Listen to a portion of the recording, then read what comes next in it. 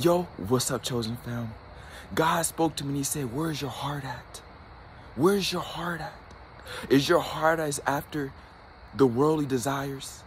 Is it after everything of this world and not of him? Examine your heart. Everything in this world is going to pass away, it's going to perish. But God said, Where's your heart at? Where our heart needs to be with Him and not of this world and not what we can get out of God. But our heart needs to be with Him through this fight, through this journey. Every day we need to examine our heart because the enemy is after us. He's trying us to he's trying to get us to serve this world and serve everything that's of it. But God wants us to stay in him. He wants us to keep striving in him. He's going to supply us with all our needs.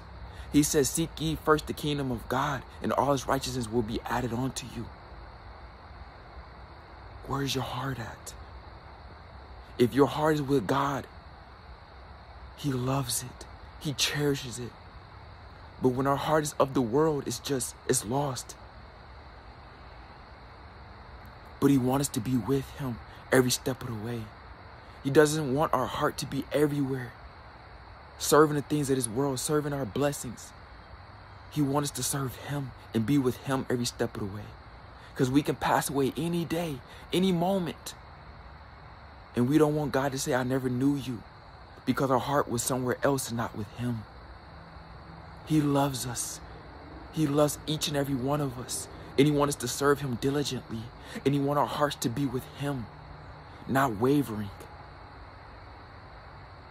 He's going to do great things in your life. But your heart posture has to be with Him and not things of this world. He has showed you things.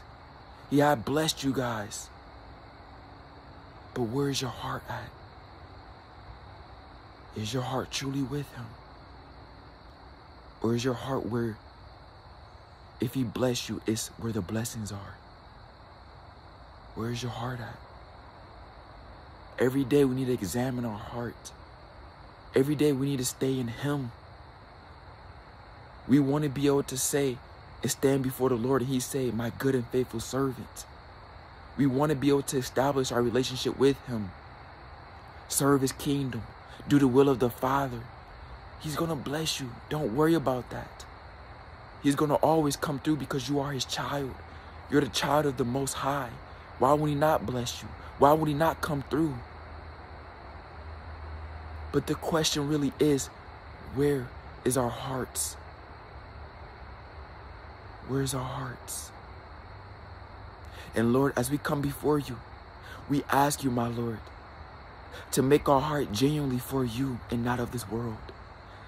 To make us serve you with all our existence, with all our being. So on that day of judgment, you can say, My good and faithful servant. Establish, help us establish a great relationship with you, my Lord. Establish on solid foundation, not sand. Deal with us ever the more, Yahweh Yeshua, Christ. Continue to do your will in our life for your glory and for your praise.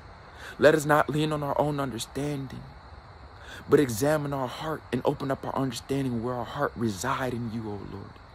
For we love you, we give you glory, we give you praise. Continue to do your will in our life, O Lord, for we serve you and we love you.